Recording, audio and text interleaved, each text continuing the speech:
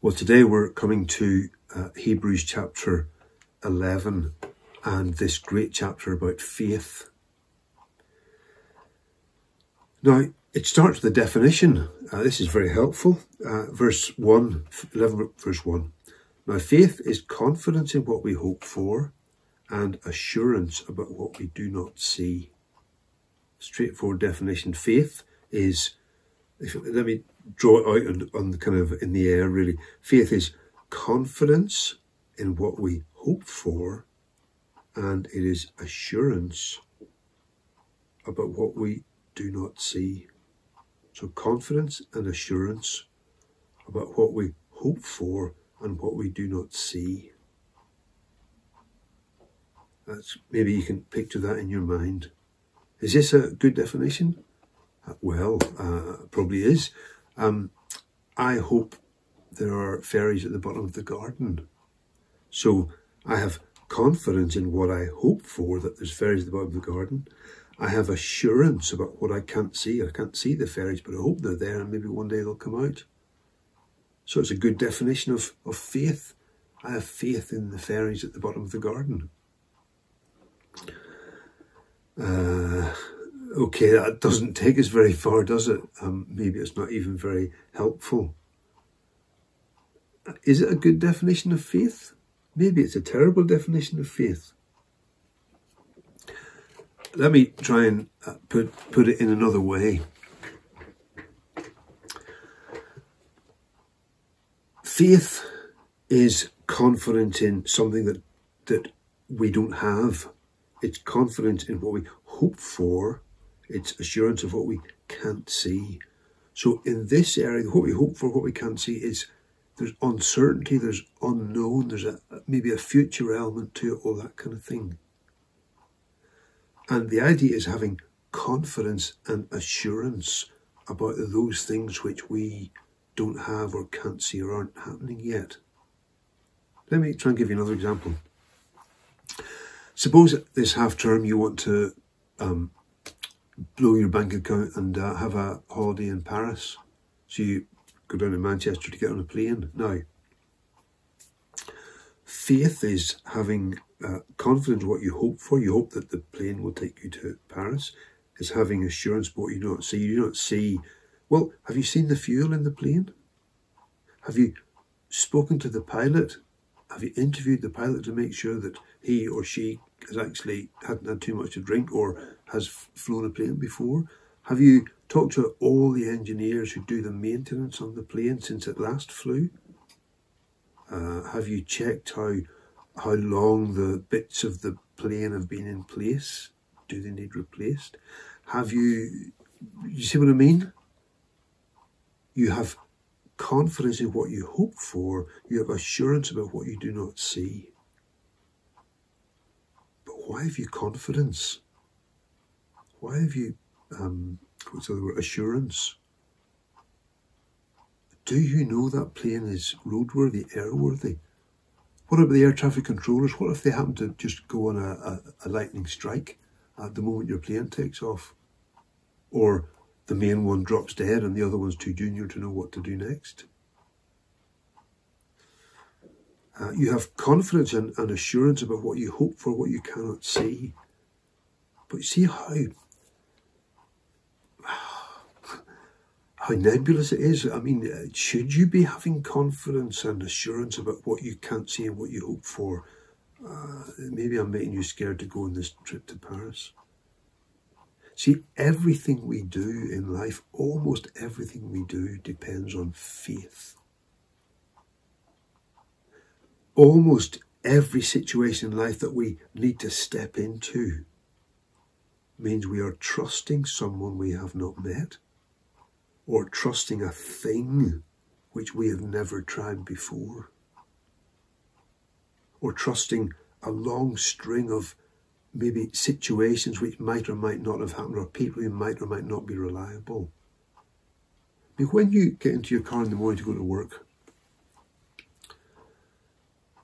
uh, you're trusting maybe, depending how long your journey is, 20, 30, 40, 50, 100, 1,000 drivers yourself and all the other drivers in all the other cars, and the people who made those cars and uh, that the MOT tests have been done properly and that the cars have been serviced reasonably often and that the tyres aren't worn and that the road isn't going to have so many potholes that you, you bounce into an accident. Do you see what I mean? So many things you take on trust in life. Almost everything we take on trust. So the question really about faith, about trust is, is what I'm trusting in reliable? Now, uh, I do, I would love there to be fairies at the bottom of the garden. But I think if you took me seriously on this, if I really pushed this and you tried to make it a thing that I really wanted, you would say I'm stupid and that my faith is stupid faith. Because it's faith in something I'm making up.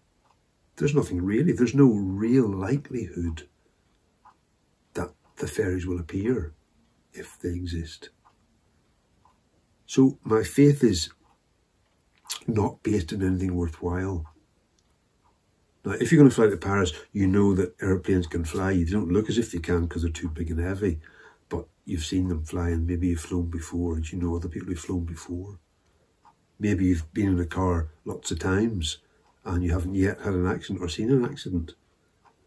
Um, so, in a sense, you're, you're trusting in the statistical likelihood that you'll survive the journey. Are you trusting in experience? So what you're putting your trust in is something which has worked in the past. Let me give you another example. Suppose I visit your house and I go into the sitting room and you say, oh, you know, have a seat.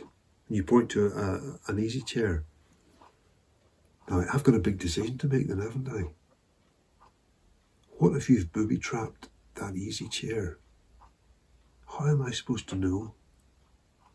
What if the chair is just too old to take my weight? What if it's not really a chair? But you've played some kind of tricks in the room that makes me think. You, you see what I mean? I'm not going to think about it, I'm just going to sit in it. But you see, by doing that, I have put my trust in you that your offer is genuine, that you've got the power to deliver the offer, that the chair is a chair you know and you can verify. But it's done automatically. But I have faith in you and your promise and your word.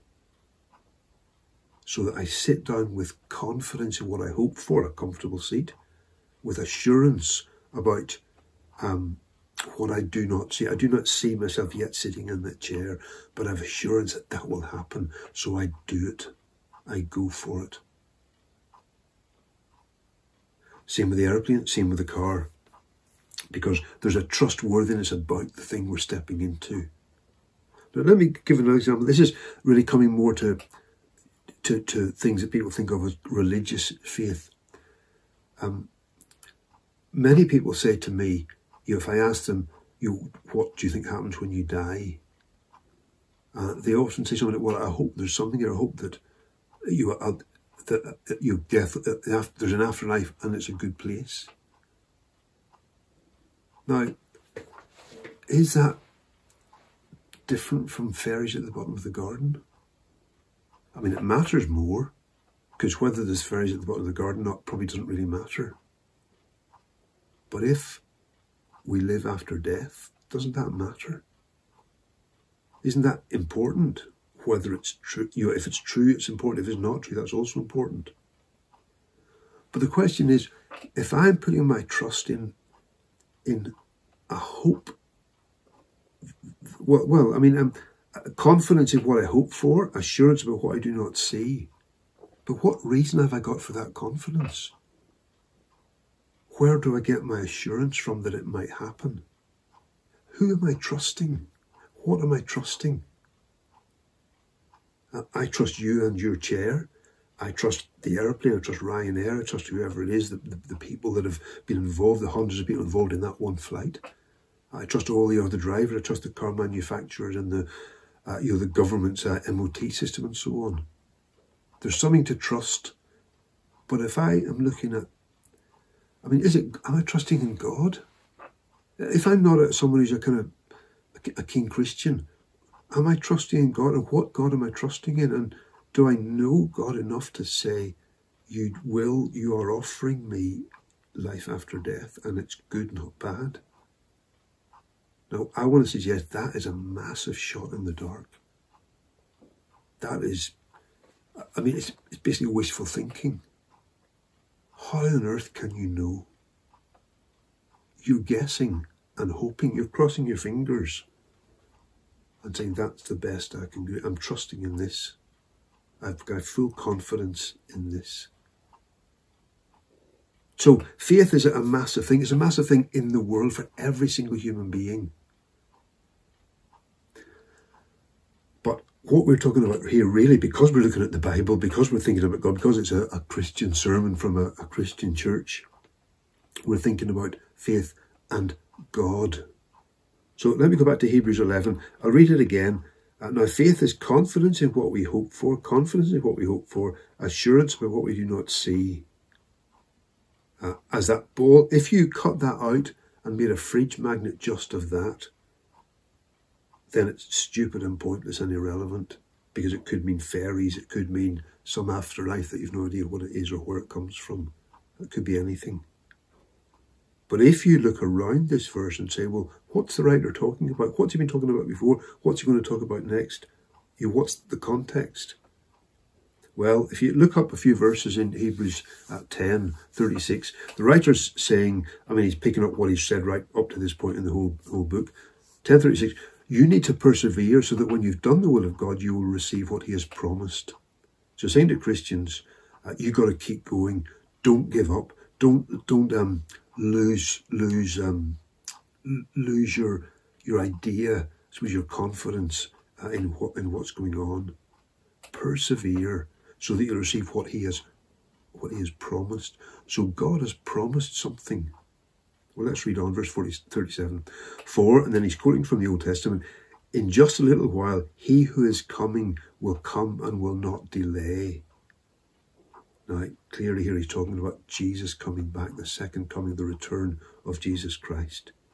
So the writer is saying, uh, persevere uh, because God has made a promise and it's something to do with Jesus coming back. That's that's going to happen. And verse 38, here another quotation, but my righteous one will live by faith, and I take no pleasure in the one who shrinks back.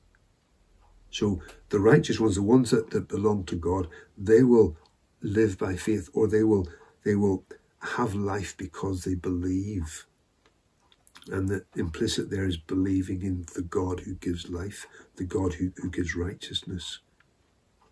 And then verse 13, well, and then there's this kind of um, uh, warning, you be careful because some people might, you might shrink back and therefore uh, that's, that's not good.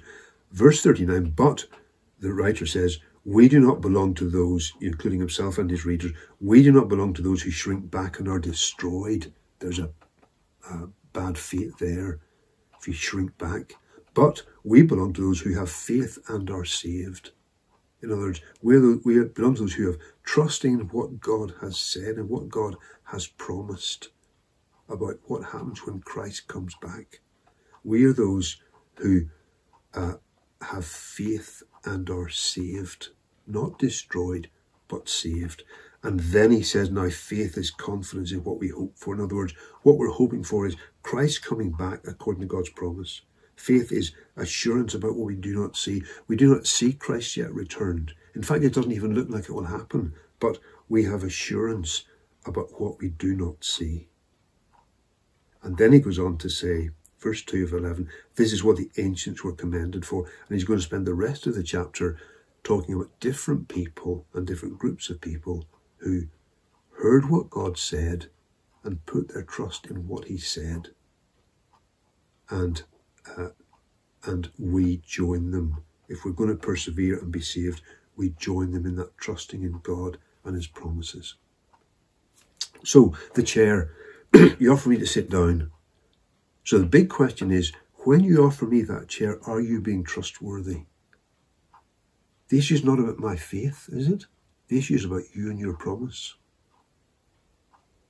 My faith is easy. If I think you're trustworthy, if you seem to me to be the kind of person that isn't kind of pulling my leg or playing a game or doesn't want to ruin me, then I'm just going to sit in the chair. Simple. So the issue is not my faith. The issue is your trustworthiness. Fairies at the bottom of the garden. Uh, now, where do I get the idea that there might be fairies at the bottom of the garden? Well, hmm, is it a trustworthy source? Uh, not really, unlikely. So if I say, oh, they're going to come out tonight, I'm trusting in make believe. I'm trusting in fairy tales. And that's stupid faith. For the chair, it's not stupid faith because you're trustworthy or you're apparently trustworthy, so it's reasonable to trust you. The fairies, it's not reasonable to trust the fairy stories. So therefore, if I put my faith in that, I'm stupid. getting on the plane to Paris.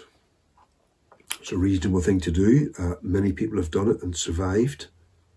Uh, lots of people do it. I've known everyone everyone who's done it has survived. So it's a reasonable thing to do to step because I'm trusting you. Ryanair is trustworthy. They vet their pilots. They uh, air traffic controllers don't tend to go on strike, at least not without notice. You, you know that kind of thing. So so there's a trustworthy element to the, the implicit promise. So when I get the explicit promise on my airline ticket, which basically says we will take you to Paris if you pay this amount of money, then that promise it's a worthwhile promise. So I just get in the plane. It's not, I'm not having, I don't think I'm taking a great step of faith by getting in the plane. But it is a step of faith. But it's because the one I'm trusting is trustworthy. And therefore, um, I have confidence what I hope for. I hope that the plane will get me to Paris. I have assurance about what I do not see. I do not see the plane flying me to Paris yet. But because offer is from a trustworthy source, then that's great. Now, I, I want to make make this a bit more serious now, um, uh, in in two different kind of ways. Um, one is suppose you've got a um, uh, an aunt who's very ill, and you're saying to your believer, you're a Christian, you're going to God and saying, God, I, I, I would, I love, I, I want my aunt to get better. Please make her better. Now, what is faith in that scenario? Can God make her better? Yes, He can. The Bible's pretty clear on that. Is it right for us to ask? Yes, the Bible's clear on that too. Is God is God worth trusting? Well, the Bible makes that pretty clear, and Christians over the centuries, Christians we know, uh, we ourselves maybe have been able to see that God is trustworthy because we've trusted Him in the past. So, does that mean that when I have that I that I have confidence what I hope for that my aunt will get will, will recover completely, that I have assurance but I don't see I don't see yet her recovery. Does that mean my faith in God will guarantee that she will get better? Now, I want to say the answer there is no. I mean, she might get better. God in His love and graces might heal her. And for me to pray for that is not bad. Is not a bad thing. It's a good thing to pray for something good for the aunt, the aunt that I love who's ill. But what I want to suggest isn't in place here. There isn't really um, Uh, while God can heal anyone and everyone totally, completely at any moment, He hasn't promised to do that universally every time anyone prays. Now, Ryanair has promised if you have the ticket and you've paid the money, they have promised they will deliver you to Paris. Your promise of the chair is very clear. If I sit down in this chair now, it will hold me up. But God has not issued a promise that every time you pray for someone you know who's ill, they will get better. And this is, I think, where it's difficult. Uh, God says we should pray for what is on our heart, what we desire, what is in line with God's will so far as we know it. God is trustworthy, but He hasn't made an explicit promise about someone who's ill or a specific person who's ill or that everyone who's ill will be healed. Now, back to this, it, it's not about my faith, it's about the, the faithfulness of the one I'm putting my faith in. Let me think of let me think uh, bring another uh, thing that God has promised. God has promised that everyone who trusts Him will receive eternal life. So if I come to God and say, uh, Lord, I want to turn to you, I want to give up my own life, come to you, uh, and you've promised eternal life, will I receive it? The answer is yes, because that is a promise to everyone who puts their trust in Jesus. That's a guaranteed promise. It's like the Ryanair ticket. But God hasn't, God has said explicitly, if you trust me for that, I will deliver. But He hasn't said, if you trust me to heal someone, I will deliver. In His grace as He might, but it's not a guarantee. So if one way to put it is that there's a there's a secret unknown will of God, and there's a revealed will of God. So it's not secret, it's revealed in Scripture if we are praying about and hoping for having our confidence or trusting God in the revealed will of God, then the promises God has made, the statements here made that are categorical, then we can have total confidence that we will, he, God will deliver that. But if it's God's secret will that He hasn't revealed, then unless He speaks very individually and personally to me, which may happen, but it's not usual in this day and age, then I cannot be certain that my aunt will be healed. Now, that's not a lack of faith. If you like, it's an, a lack of an explicit promise from God that He will do that particular thing. I can keep calling to Him to do it, praying to Him to do it, but I don't need more faith or greater faith, or I don't need a way to, to twist my faith to make God act. I'm putting my trust in a God who's loving and caring, but hasn't expressly said he will do that. Whereas there are other things he has expressly said that I can put my trust in and know that he will deliver. The danger is we say faith is all about me, me and my faith. But actually, it's about the faithfulness of the one who has promised what has He promised? What has God promised? And am I trusting in the words He has said? Yes, we pray about things He hasn't spoken about to deliver. But we have so much to go for, so much to trust in God that He has definitely promised that He will deliver.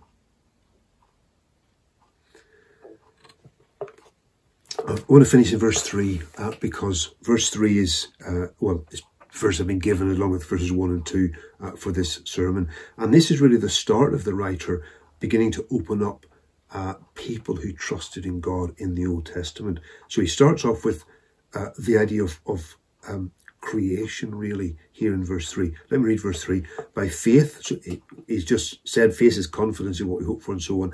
Uh, it's what the ancients were commended for. And then verse 3 he says, By faith we understand that the universe was formed at God's command, so that what is seen was not made out of what was visible. So it's saying that we believers, we, we are trusting God, uh, we by faith understand that what exists in the world we have, the heavens and the earth and so on, that that was made at God's command. In other words, God spoke specifically, and we believe that it happened. Now, whether when it says um, uh, what what is seen was not made out of what was visible, uh, that could be that God created from nothing the world as we see it now, or it could mean that God made visible what had been invisible. So, if you like, it emerged into view, it emerged into existence from a, a different dimension. Uh, but we're putting our trust in God that He spoke and promised, and what He said came true. The world is in place and it existed. So, you see how faith works? God speaks something specific, something clear, and we trust Him that it has happened, and then we live in it. And that's how it will work through uh, the rest of, of Hebrews 11 here. God makes a specific promise, we trust Him for that promise, even though we don't see it coming yet. So, as a Christian, and I want to finish in this, as a Christian, I'm not trusting in some vague hope of an afterlife that might be good. I'm trusting in a specific and in many specific promises of God in Scripture. That God has promised for those who put their trust in Him, they will, when they die, be with God forever and ultimately be resurrected into a new heaven and a new earth. And I believe that because God has spoken to in Scripture, because Christ has been raised from the dead, the first fruits of those who, who die and are raised again, uh, and many, many other things. So, my hope as a Christian is in something concrete, God who has spoken trustworthily. And therefore, I trust Him that I will live forever in His kingdom. Not because I've got great faith, not because I'm good or because anything, anything in me deserves that, but because God has spoken crystal clearly and He is trustworthy. And that is where why we put our faith in Him.